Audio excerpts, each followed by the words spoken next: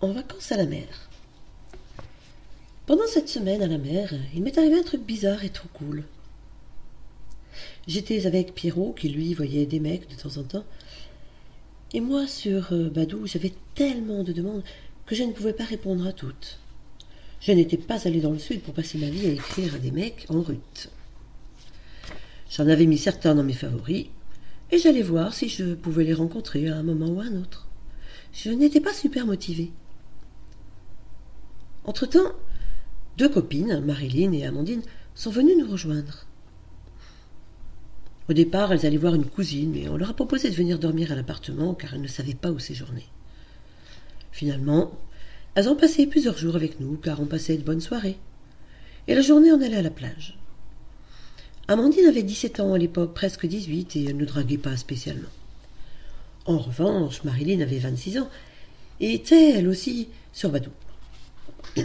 Elle a voulu faire venir un mec avec qui elle discutait. Un certain Pierre qui devait avoir entre 26 et 28 ans. Le mec vient, on prend l'apéro ensemble et on discute tous. Pendant ce temps, je prends le temps de répondre à quelques messages reçus sur euh, Badou, car je n'arrivais plus à suivre, ce qui est normal quand on change de région. On a nouvelles dans le secteur, alors les mecs nous sautent dessus, pour ainsi dire. Tout en prenant l'apéro, je réponds au mec qui m'avait déjà écrit depuis deux jours. Je fais des copier-coller, leur expliquant que je ne cherche rien de spécial, que j'ai trop de demandes et que je n'ai donc pas le temps de répondre à tous. Et là, je reçois une réponse me disant un truc comme Mais pourquoi tu ne m'as pas répondu avant? C'est toi que je veux voir, pas Marilyn. Ah, euh, là, je comprends pas sur le coup, mais je regarde la photo du mec et je réalise c'est le plan cul de Marilyn qui est assis à côté de moi. Là. Alors, euh, comment on fait dans ces cas-là? Très bonne question. Quelle malaisance. On est parti dans une conversation sur Badou tous les deux, mais je n'étais pas sereine car il était venu pour Marilyn et moi je ne fais pas ça aux copines même si c'est juste un plan cul.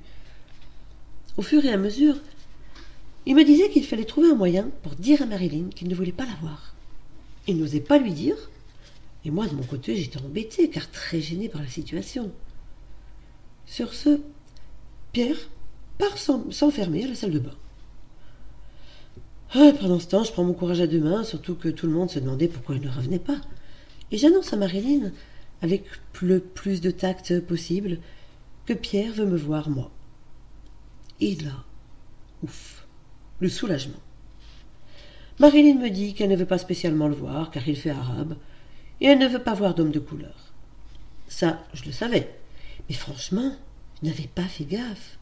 Moi, j'avais juste vu sa beauté. Le mec est beau comme un dieu.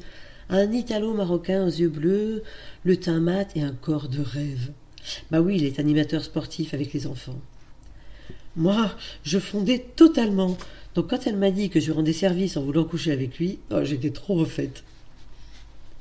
J'avais les larmes aux yeux de lui annoncer ça, car euh, vraiment trop embêtée par la tournure des choses. Mais finalement, elle m'a dit qu'elle était contente et qu'elle allait partir faire un tour en ville avec Amandine. Mon Pierrot, de son côté, partait faire un tour au sauna, donc je me retrouvais seule avec Pierrot, le plan cul, à l'appartement. Non seulement ce mec est super beau, mais en plus, il s'avère un excellent amant. Oh, comme elle a bien fait, Marine, de me le laisser. De toute façon, elle n'aurait pas aimé, car ça dure hyper longtemps avec lui. Et moi, j'adore les mecs endurants. Donc ça tombait bien, finalement. C'était tellement bien qu'on avait décidé de se revoir le vendredi soir et qu'il dormirait même à l'appartement pour une nuit mémorable.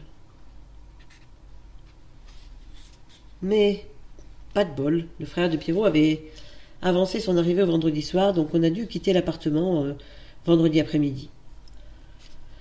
Oh, les boules, j'avais trop envie de passer une nuit avec mon beau Pierre, super amant, d'une tendresse exemplaire, digne d'un cancer, super à l'écoute de sa partenaire, endurant, que demander de mieux?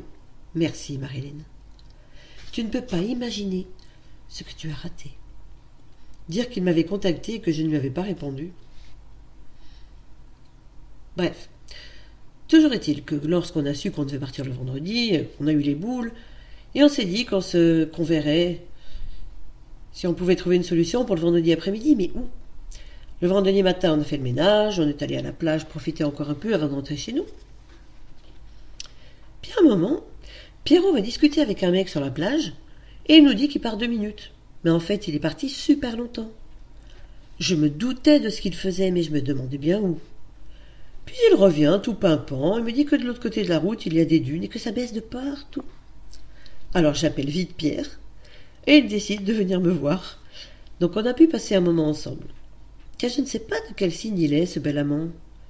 Peut-être est-il cancer. Je ne sais pas, mais il est super doux, à l'écoute, super sensuel et câlin.